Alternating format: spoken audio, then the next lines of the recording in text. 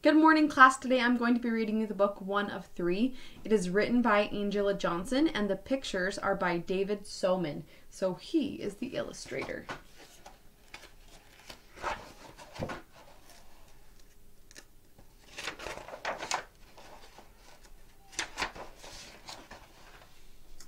Since I can remember, I've been one of three Eva, Nikki, and me.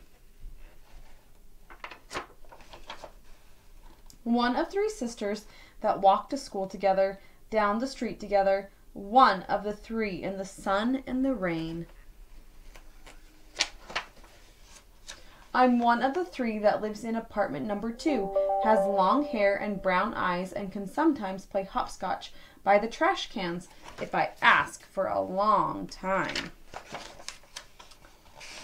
On Saturdays, I'm one of the three that sits outside the bakery and looks and smells and smells.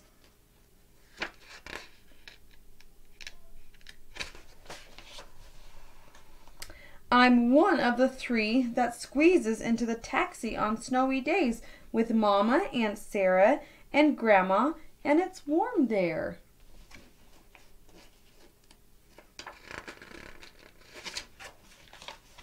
I'm one of the three that looks just like our mama, smiles just like our daddy, and holds hands with my sisters in the store, looking like triplets, almost.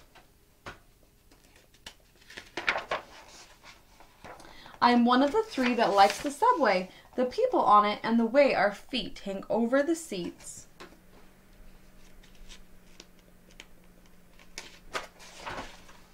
I'm one of the three who lives over the flower shop Mr. Lowen still gets all of our names wrong, but he gives us each a daisy every time.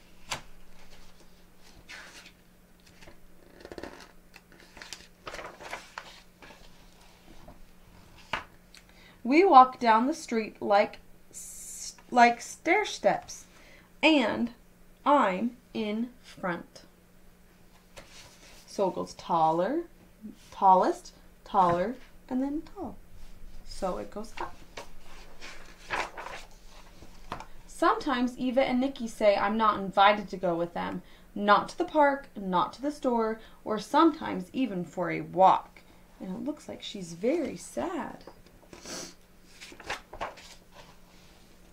I'm left behind, not one of three, just one.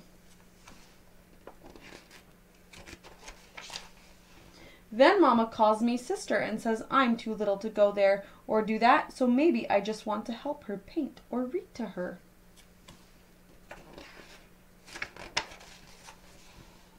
Daddy says that I have to be the baby sometimes and keep Mama and him company, just sometimes.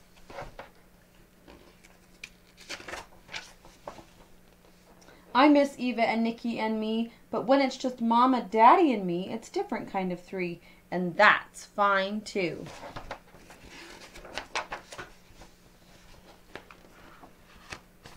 And here's the final picture of the little girl back with her sisters. I hope you enjoyed our book today.